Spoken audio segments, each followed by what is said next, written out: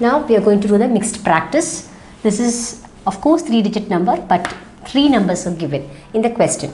Okay, step 1. So first you have to write the place value that is ones, tens and hundred. First number is 241, second number is 306 and the third number is 224. So I have to concentrate the ones. So I am going to add the what? I am going to add the ones place. I am going to add the ones place.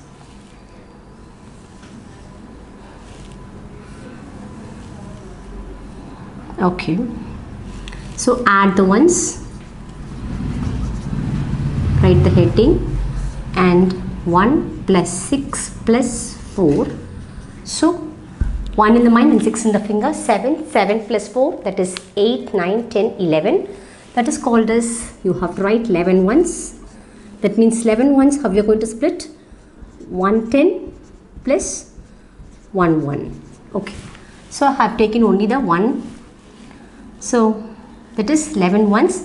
So 1 1 uh, 1 in the what ones place. 1 1 that is 1 in the ones place. The remaining 110 that is is go to the tens place. The carryover is go to the tens place. So what is the how many tens? 110 so 1 is a carryover is go to the tens place. So step 1 is over. Step 1 I am going to add only the ones. So step 2 add the tens. Add the tens underline so the answer is what? 6 plus 1 7 7 plus 4 11 that is 1 is here. That is 11 ones. So 1 ones and 1 10 so 1 I've written 1 ones. So I've written the 1 the remaining 1 is carry over is go to the that is in the tens place. I'm going to add the what? Tens place value. That is 6 plus 1 7 7 plus 4 11 so 1 ones I've written in this place the remaining 110 is go to the tens place. That means the carryover 110 is go to the tens place. I'm going to add the tens. So first I have to write 1 plus 4 plus 2 so 1 plus 4 what? 5 5 plus 2 6 and 7 that is 7 tens. So 7 tens. So there is no carryover. I've written the 7 10 as it is.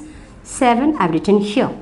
Okay? So that means step 2 is over now I'm going to move on to the step 3 that is 100 place. So ones place what is the number? 1 and in the tens place what is the number? 7 so now I'm going to add the hundreds.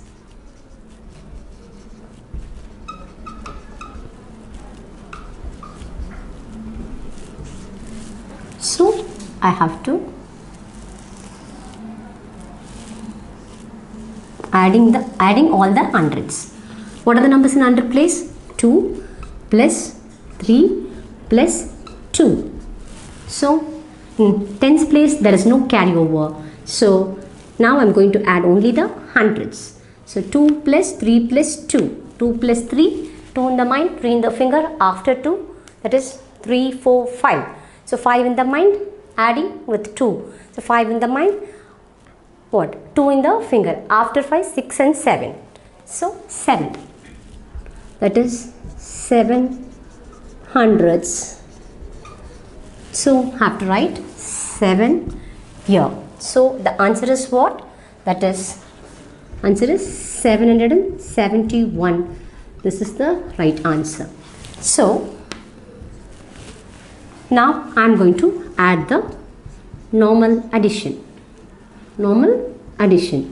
That is 2 4 1 241 3 0 6 306 and 2 2 4 that is 224 I am going to add all the three digit numbers. First I have to concentrate in the ones place.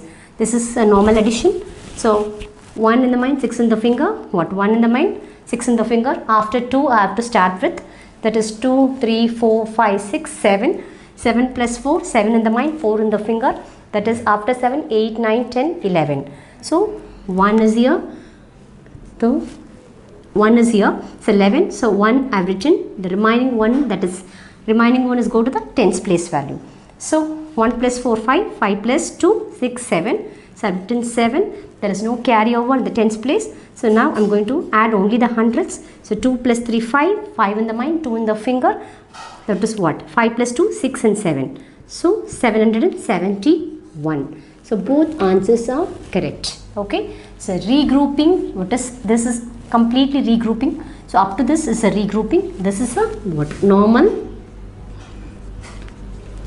3 digit addition. Okay? Normal 3 digit addition. Normal 3 digit addition. Okay? This is a regrouping and is also mixed practice. It's called as a mixed practice but we are applying as a what? Regrouping method. For the first method is a regrouping method. This is a second method. This is a first method. Okay? First method is mixed practice.